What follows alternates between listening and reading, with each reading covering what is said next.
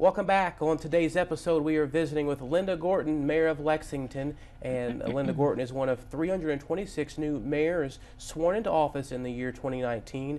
And Medium.com's Bloomberg Cities named her as one of the nation's five new mayors to watch. And once again, Mayor uh, Gorton, we appreciate you joining us uh, here on In Focus Kentucky. Thank you for having me, Mario. Uh, you bet. And let's talk uh, about uh, something that you've been very vocal about wanting uh, to dream big dreams for Lexington. And one of those things you want to lead in the battle against opioid addiction, mm -hmm. something that's, you know, uh, difficult across the country, but specifically in Kentucky, but also in Lexington. Mm -hmm. uh, why is this a top priority for you to want to address and try to tackle?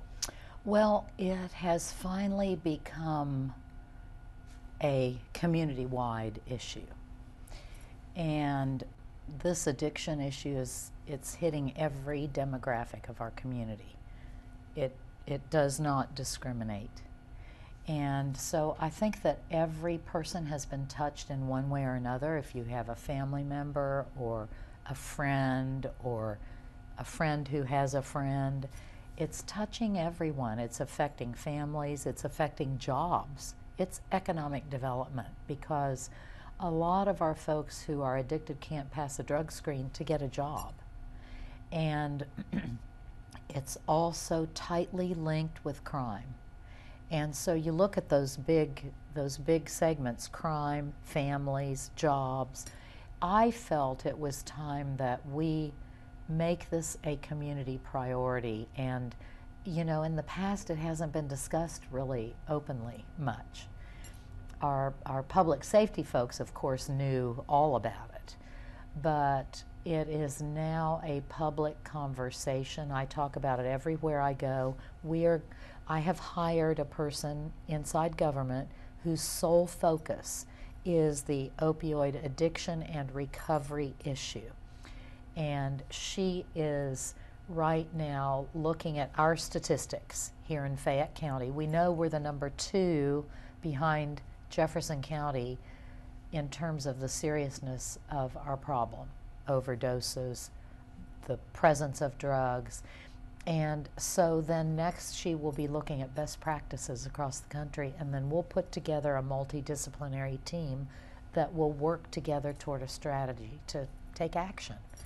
And we're finding out that there are lots of good efforts being made around our Commonwealth, but they're, in a lot of cases, they're fairly siloed. And to me, the, the point where we need to go is to connect connect the addiction experts, connect the faith community who want to be part of the solution, connect public safety. We need to have all these folks sitting together working on the solution. So it's big. It's big all over the country, but it's, it's especially a problem here. And you touched on crime, and uh, Lexington in 2018 was uh, ranked as one of the top 10 safest metro cities in America. Mm -hmm. um, uh, but there are still those who are concerned about violent crime numbers yes. and uh, always need reassurance or wanting to know how uh, you as mayor will address crime and focus on this area. Uh, what's what's how do you plan to uh, navigate those waters with addressing violent crime and uh, here in, in, public safety in Lexington? Well, it, we are compared with other cities across the country, our size, we are very safe. However, if you're the victim of a crime, you don't necessarily feel safe, right?